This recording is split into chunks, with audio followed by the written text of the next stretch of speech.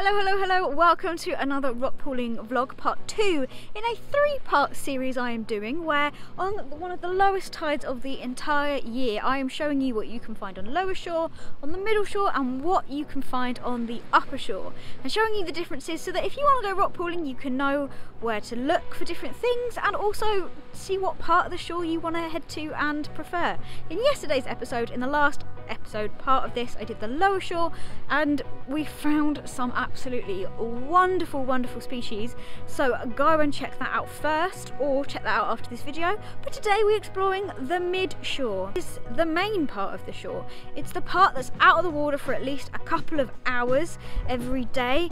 And um, here is the kind of place where you still have to adapt to survive against drying out and it just leads to some really interesting mixes of creatures that are here lots of competition. Really we can find a lot of stuff on the midshore we could find anything today and I am so so excited for it if you want to learn more about the midshore and about how species survive here and exactly what you know conditions and temperatures and desiccation and drying out and all of that different stuff check out my documentary episode of when the tide retreats all about survival on the shore and I break it down the specifics of exactly how species live in each of these zones, but today we are just going to enjoy and explore and see what we can find.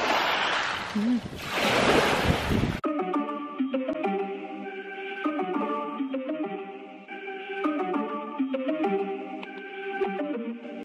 is a little mysid shrimp a little common shore crab. Can you spot him? He's pretty well blended in there some gorgeous coral weed which is of just of course always a lovely find and quite common around the midshore this I am so excited about. I finally got some footage of a butterfish where it wasn't scared and flapping around. I just saw this making its way through the rock pool and got some lovely video footage.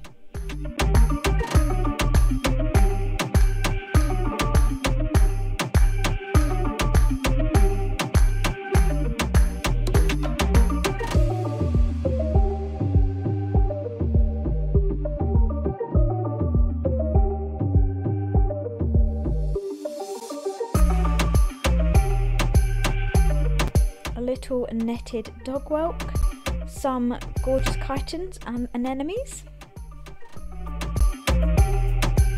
This is a teeny weeny juvenile long-armed porcelain crab. And this is my one of my favourite type of limpets. It's the tortoiseshell limpet. I mean, that's pretty incredible, right? Here is a great example of two of the same species can look completely different. They're both beadlet anemones. This is lovely bright red with a blue ring and this is brown with green stripes and they're all the same species. This is a flat top shell, one of the prettiest shells on snails you can find on the UK coastlines.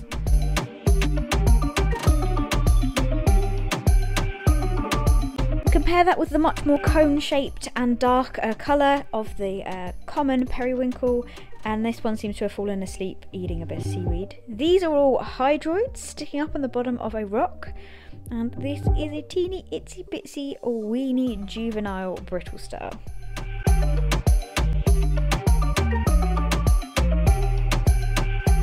Some very well camouflaged limpets.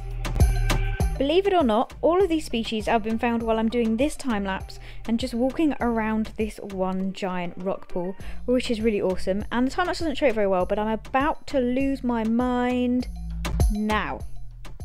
I found a I found, ooh, slipped.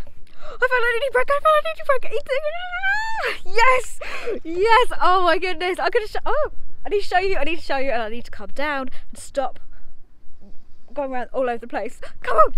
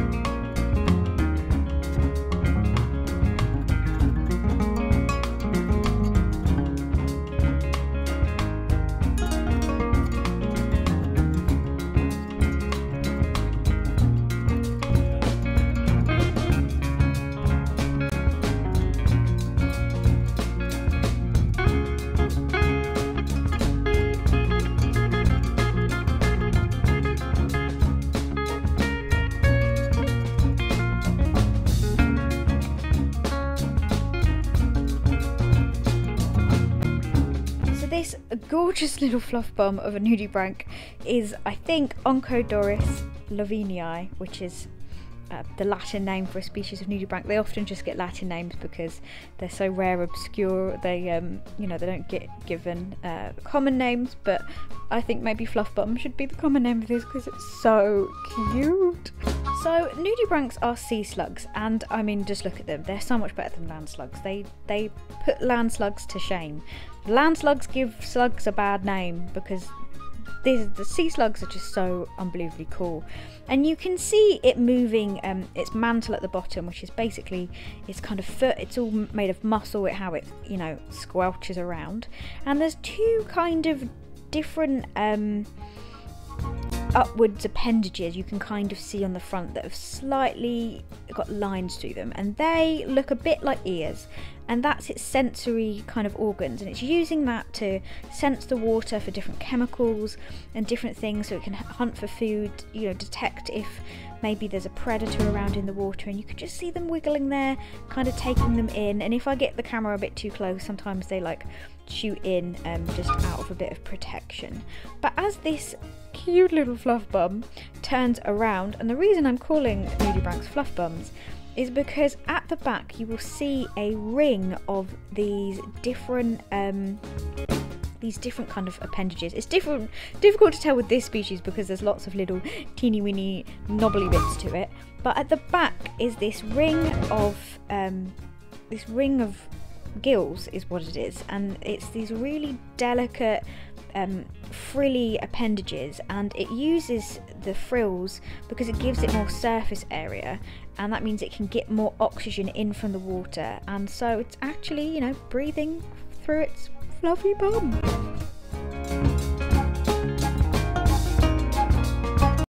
That is so special. That is so cool. I cannot believe it. That is genuinely genuinely amazing. How fantastic. Yes. I mean I just said in the episode before about nudibranchs and not finding them and that we should put a dance out there and thank you for the dances. I'm sure that made a difference despite the fact that this is literally being filmed like 20 minutes after I said that, but whatever. Oh my god! I think that's a little Doris. I love the fact that nudibranchs, that that kind of sea lemon family has Doris in their Latin name, so you get to call them all Doris. Like, perfection itself as nudibranchs are. It's so tiny. It was so cute. I, I, it was it was it was like me saying I can't find nudibranchs on the lower shore, and it was like no. Mid shore is awesome too. First rock pool, one of the first rocks, boom. Dropped a nudibranch in. I mean, the last time I found one was a year ago, like a whole year ago, and that's the only one I found. So like, you have found like little sea hares and stuff since then, but only only one. Like, you can't odds that. That is so incredible. Just when you discount a nudibranch, the rocky shore surprises you, and that just goes to show how incredible the life is here and how much you can find. We couldn't leave the midshore without showing the wonderful hermit crabs that are especially kind of prevalent on the, the east coast of Scotland. There are just tons, and they are one of my favourites.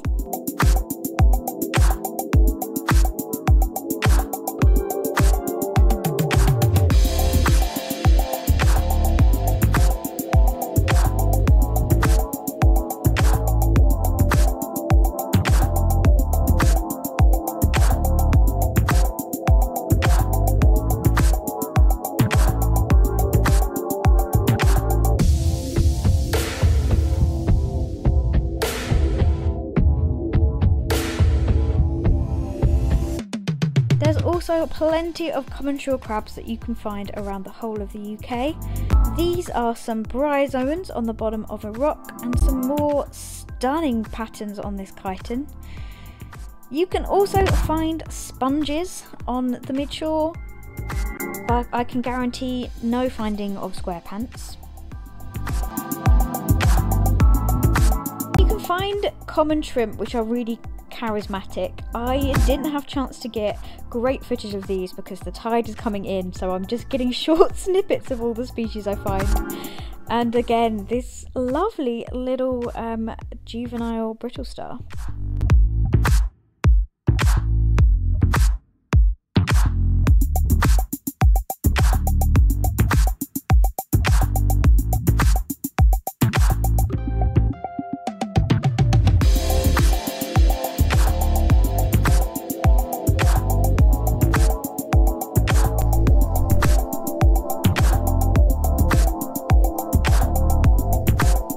One of the big parts of the midshore, as you can kind of see from that video footage, is it's very brown. And that's because it's really, really dominated by this type of seaweed here, which is a fucus. Now fucuses love the midshore. They there's a couple of species of them and they absolutely dominate. And this is actually a really good thing for the midshore. So when you're rock pooling, there's lots of things like, you know, rock pools, and in them are all the species that don't like to dry out. It's where a lot of people find the life. But there are also really large patches of rocks that don't stay underwater when the tide goes out. And this is where fucuses love to grow. And it also means that other species can grow in the fucuses, in the seaweeds, and under them. So if you move these around, you'll see that there are all these different types of snails that love to live in them, especially this one, which is a flat periwinkle. There's different types of barn, limpets, loads of snails. You can also find other seaweeds that can live under it.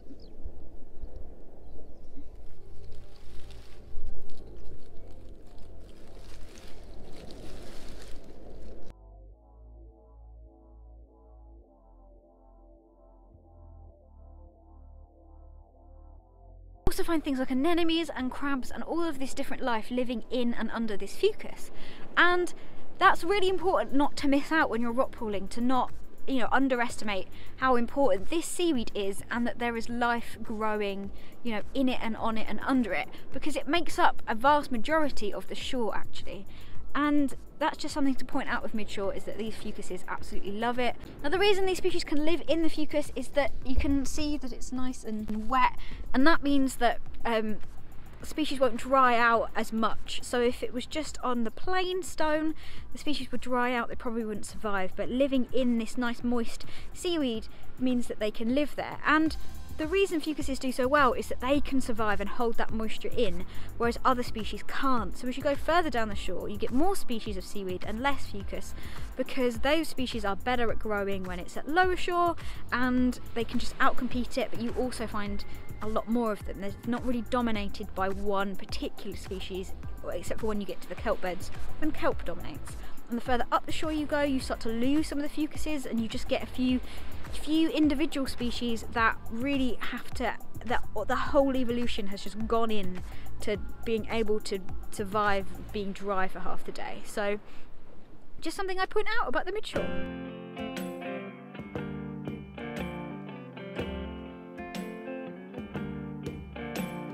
I feel like we're going slightly back to normal here. It was a butterfish that is trying to slither away from me, and this is the shot I'm, I usually get is just the tail slithering away. But when I was trying to find this species, I lifted up a rock and found this five-bearded rockling.